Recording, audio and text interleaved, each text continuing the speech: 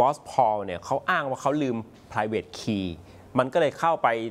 ทำธุรกรรมการเงินที่เขาเก็บอยู่ในรูปแบบของสินทรัพย์ดิจิทัลไม่ได้ เอาพื้นฐานก่อน private key คืออะไรครับ คนจะได้ตามทัน อันนี้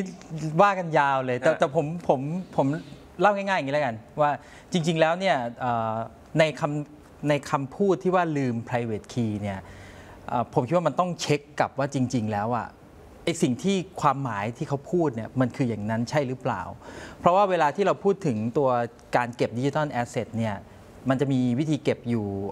หลักๆ อยู่ 2 แบบแล้วกัน เก็บเองกับเก็บไว้ในกระดานเทรดที่เรียกว่า Exchange เนาะถ้าเก็บไว้ในกระดานเทรดที่เรียกว่า Exchange เนี่ยคุณรู้ username password รู้ไอ พินอ่า username password แล้วก็ตัวที่ยืนยันตัวตนแบบใช้ OTP ใช้โทรศัพท์เนี่ยก็เข้าได้แล้ว ถ้าเก็บเองเนี่ยมันจะมีอยู่ 2 ส่วนนะครับ อย่างแรกเรียกว่า PIN PIN เนี่ยเหมือนกับอันเวลาเราจะปลดล็อกโทรศัพท์ แล้วก็ปลดล็อกกดเลขได้เลยนะครับ อย่างที่2เนี่ยก็คือตัวที่เราเรียกว่าอ่า private key ซึ่งปกติไม่มีใครจำ private key คือถ้าบอสพอลบอกว่าจำ private key ไม่ได้ ผมว่าโอเค valid ถือถือว่าถูกต้อง เข้าใจได้ เพราะว่า private key มันยาวมาก แล้วไม่มีใครจำฮะขนาดจดเนี่ยยังจะจดผิดจดถูกเลย เพราะว่าเวเวลาเราพูดถึง private key เนี่ยมันจะเป็นตัวอักษรที่มันไม่ใช่ภาษามนุษย์ คือมันเรียงกันตัวเล็กตัวใหญ่เอาเอาแค่ password เรายังจำยากเลยถูกไหมจำเปลี่ยน password วันนี้วันรุ่งขึ้นเราลืมแล้ว แต่ตัว private key อะมันยาวมาก เพราะฉะนั้นปกติเนี่ยเขาจะไม่จำ private key กันนะครับซึ่ง private key เนี่ยถ้าในเชิงของตัว บล็อกเชนที่เราใช้กันเนี่ยพวก Bitcoin หรือว่าพวกไอ USDT ที่อยู่บน Ethereum เนี่ย private key มันคือกุญแจที่เอาไว้เข้าถึง digital asset ของเราเนาะผมเปรียบเทียบอย่างนี้แล้วกันว่า จริง ๆ แล้วเนี่ยถ้าเราเปรียบเปรียบตัวเงินเนี่ยแล้วเราเนี่ยต้องการเอาเงินไปเก็บในตู้เซฟเนี่ยไอ้ระบบบล็อกเชนเนี่ยมันเหมือนมันมีตู้เซฟอยู่อันหนึ่งแล้วเรามี private key ซึ่งคนที่จะมี private key เนี่ยคือคนที่จะเข้าถึงตู้เซฟนี้ได้คนเดียวเท่านั้น ต้องต้องเรียกว่ากี่คนก็ได้แล้วกันถ้ามีกุญแจเข้าได้หมดอ่าเพราะว่าตัวกุญแจถ้าสมมุติผมปั๊มให้คุณจอร์จคุณจอร์จก็เข้าได้ แต่ระบบของมันเนี่ยมันคือตู้เซฟอันหนึ่งที่อยู่ใน database ที่เราเรียกว่าบล็อกเชนเวลาที่เราจะเก็บเราจะเก็บไว้ในตู้เซฟอันนั้น กุญแจตัวนั้นอะจะกุญแจที่จะเข้าถึงอ่าตัวที่เป็นอ่าไอ้ตู้เซฟอันถ้านั้นเปรียบเทียบเหมือนกับ ถ้าเป็นธนาคารแล้วเรามีไปเช่าตู้เซฟในธนาคารถูกธนาคารเขาก็จะเปิดตู้เซฟเราไม่ได้ใช่ เราจะเป็นคนเดียวที่มีรหัสถูกถ้าเราไม่ได้ก๊อปปี้ให้คนอื่นอ่ามีคนเดียวมันตู้เซฟนั้นก็จะปิดตายไปเลยถูกไหมถ้าใช่ตู้เซฟนั้นเนี่ยอ่าถ้าเราบอกว่าเรามีเรามีคนเดียว แล้วมันหายจริง ๆอะไม่มีใครเข้าถึงตู้เซฟนั้นได้อีกเลย อันเนี้ยมันเป็นอันหนึ่งที่ว่าโดยข้อเท็จจริงแล้วเนี่ย ที่บอสพอลจำไม่ได้เนี่ยอาจจะไม่ได้เป็นปัญหาถ้าเขาจดเอาไว้ เพราะปกติมันจะไม่มีคนจำเพราะไม่อ๋อพี่ Private บิ๊กก็เลย key คิดว่ามันต้องมีมันถ้าต้องไปหาที่เขาจดถ้เขาพูดอย่างเงี้ยอ่าต้องไป verify ว่าจริง ๆ เขาหมายถึง PIN หรือเขาหมายถึง private key ถ้าเขาหมายถึง private key แปลว่าเขาจำไม่ได้เนี่ยอาจจะจริงต้องไปหาที่ที่เขาจด ซึ่งถ้าคนซีเรียสมาก ๆ แบบเงินเยอะ ๆ เนี่ยเขาจะไม่จดลงกระดาษด้วย เขาจะใช้เป็นวิธีการสลักลงแผ่นเหล็ก เพราะว่าแผ่นเหล็กเนี่ยมันจะทนต่อการไม่โดนน้ำโดนอะไร คือถ้าเราจดลงกระดาษเนี่ยนะมันเคยมีเคสที่แบบว่าเจอน้ำแล้วมันเปื่อยยุ่ยไอตัวที่จดอะจางไปมันจางลงไปหรือมันขาดหรือมันหาย เขาจะจดลงแผ่น plate ที่เป็นอลูมิเนียมเกรดที่แบบว่าบ้านไหม้ก็อีแผ่นนี้ยังอยู่อะ คือถ้าคนที่ซีเรียสนะนะไอ้แผ่นนี้เอาไปเก็บไว้ไหนอีกฮะก็อยู่ที่ว่าเราจะเก็บไว้ในเซฟหรือเก็บไว้ที่ไหน มันมันอยู่ที่ตรงจริงจริงอ๋อๆแต่อันนี้ต้องในกรณีที่มันมีเงินเยอะมากๆใช่มีสินทรัพย์เยอะมากใช่ถ้าไม่เยอะเนี่ยคือบางคนก็แค่กระดาษพอเพราะว่าไม่ขนาดนั้นต้นทุนในการเก็บมันมี เพราะฉะนั้นผมถึงได้บอกว่าจริง ๆ แล้วถามว่าถ้าบอสพอบอกว่าลืมไปๆลืมลืมไปเปิดคีย์ผมว่าเป็นเรื่องปกติ แต่ถ้าเขาลืมพินผมว่าอันนี้แปลกๆเนี่ยใช่ไหมคือข้อมูลที่ออกมาเนี่ยผมก็เอ๊ะแหละว่า เอ๊ะ นี่คือ private key จริงๆใช่ไหมหรือว่าพินมีคำถามตรงนี้อ่ามีคำถามต้องไปเคลียร์แต่แต่ทั้งหมดเนี่ยผมคิดว่าไม่ว่าจะเป็นพินหรือ private key สมมุติเขาลืมพินพินไม่จำเป็นต้องใช้ก็ได้ ถ้าเขามีตัวตัวที่เอาไว้ generate private key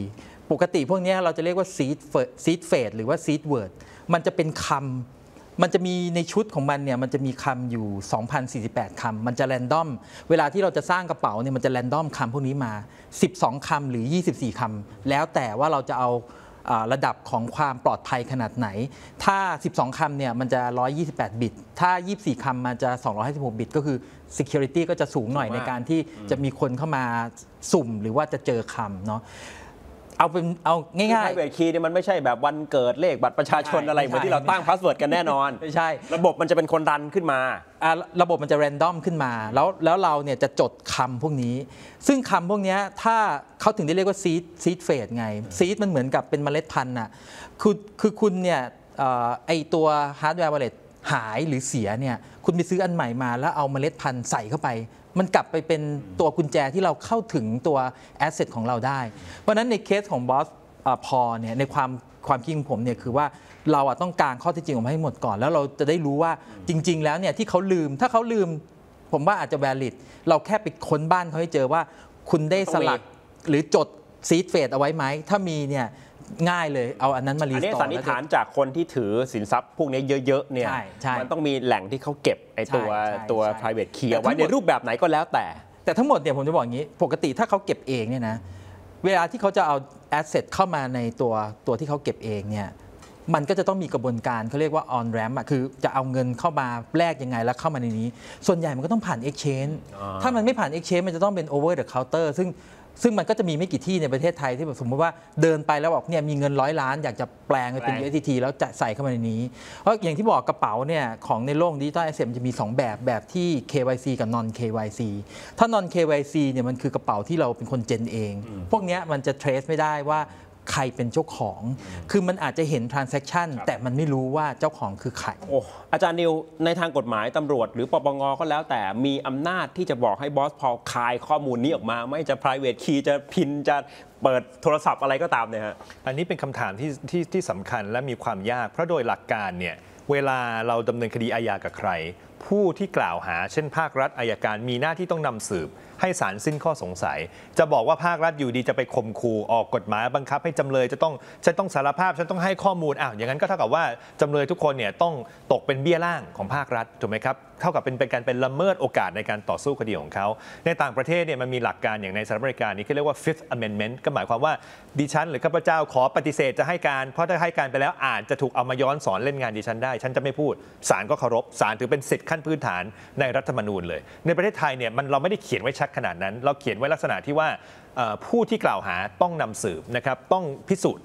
ข้อกล่าวหา ถามว่าถ้าเกิดตำรวจเข้ามือถือเข้ารหัสไม่ได้ แล้วจะไปบังคับให้เจ้าตัวต้องมาบอกในสิ่งที่อาจจะย้อนสอนมาหาตัวเองเขาจะบอกผมไม่ได้ทำอะไรผิดนะ แต่ถ้าเกิดผมให้ข้อมูลตรงนี้ไปเนี่ยคุณอาจจะไปทำอะไรก็ไม่รู้ทำให้ผมเสียเปรียบและในทางหลักนิติศาสตร์เนี่ยผมคิดว่ามีประเด็นให้ถกเถียงกันอยู่ ว่าจะไปบังคับเขาได้ไหมแต่ปกติแล้วเนี่ยนะครับมันอาจจะมีทางออกทางอื่น ทางออกเช่นว่าคดีนี้เนี่ยยังไงคุณก็ถูกดำเนินคดีอยู่แล้วถ้าหลักฐานมันชัดเจน ถ้าเกิดคุณสารภาพส่วนนี้มา คุณทำให้มีทรัพย์สินเปิดมาซะอ่เปิดมีอะไรมาเท่าไหร่แล้วก็มาคืนให้ผู้เสียหายเยียวยาศาลอาจจะเห็นว่าคุณให้การเป็นคุณต่อกระบวนพิจารณาศาลอาจจะมีความเมตตาลดโทษลงให้กึ่งหนึ่งอาจจะพิพากษาหรืออาจจะรอลงอาญาก็แล้วแต่ แต่ตรงเนี้ยเป็นดุลพินิษของศาลเป็นดุลพินิจของศาลถามว่าคุณพอจะรู้ได้ไหมว่าถ้าฉันช่วยแล้วศาลจะเมตตาหรือเปล่า อันนี้คุณพอจะไม่รู้ ผมอยากจะฝากประเด็นไว้ว่าในต่างประเทศเนี่ยนะครับหลักกฎหมายเนี่ยมันพัฒนาไปถึงขั้นที่ว่ามันมีสิ่งที่เรียกว่า plea bargaining plea bargaining ก็หมายความว่าจำเลยหรือผู้ถูกกล่าวหาเนี่ยสามารถยอมสารภาพเลยนะ บอกผมสารภาพนะคุณอยากจะดูอะไรผมเปิดให้คุณหมดเลย ผมชี้เป้าได้ว่าไอ้คนผิดตัวอื่นที่ยังไม่ถูกดำเนินคดีเป็นพวกนี้ทรัพย์สินซ่อนอยู่ตรงนี้บิตคอยอีทีเรียมแอบซ่อนอยู่ตรงนี้ แต่อายการครับขอให้เราทำเป็นข้อตกลงเลยนะว่า ผมสารภาพอายการช่วยลดโทษให้ผมลงได้ไหมฟ้องข้อหาที่เบาลงได้ไหมแล้วก็เอาเอกสารเนี้ยไปให้ศาลดูศาลยังมีดุลพินิจเหลือบางส่วน แต่ศาลก็อาจจะต้องดูแลวเออคดีนี้มันไขได้นี่คดีนี้มันเอาทรัพย์สินมาคืนประชาชนได้นี่เพราะเขาสารภาพ แต่ระบบเมืองไทยเนี่ยยังไม่ได้มีกฎหมายเรื่อง plea bargaining ที่ชัดเจนมีแต่เรื่องกันไว้เป็นพยานซึ่งไม่เหมือนกัน เพราะฉะนั้น ไม่แน่ครับคดีดีไอคอนเนี่ยอาจจะเป็นจุดประกาย ให้นักกฎหมายไทยต้องหันมาคิดแล้วว่าเฮ้ยคดีที่มันลึกลับซับซ้อนต้องเข้าถึงพยานหลักฐาน และที่สำคัญที่สุดคือมีบอสหลายคน คดีที่มีบอสหลายคนเนี่ยระบบ plea bargaining จะได้ผลมาก เพราะมันจะทำให้เริ่มคิดแล้ว 18 คนนี้ฉันจะเอาไงดีวะฉันจะปากแข็งทุกคน หรือฉันจะเออฉันขอไปก่อนแล้วกันนะฉันฉันเข้าคุกก็ได้แต่ขอเข้าน้อยหน่อยแต่ฉันบอกเลยว่าใครทำอะไรที่ไหนอย่างไรแฉกันเองอ่าแฉกันเอง แต่ถ้าเกิดทุกคนบอกเอาแฉทำไมอะแฉตัวเองก็โดนได้อยู่ดีอายการไม่กันไว้เป็นพยานอย่างนี้เพฉันราะก็ไม่โดนมียู่อะไรดีการันตีว่าคุณจะได้รับการผ่อนหนักเป็นเบาจากศาลถูกเพราะมันต้องตไปกลงกันในชั้นอายการแบบต่างประเทศไม่ได้ถูกคือถ้าในต่างประเทศเนี่ยพรีแบกนี่คือคุณต้องตกลงตั้งแต่ตอนแรกเลย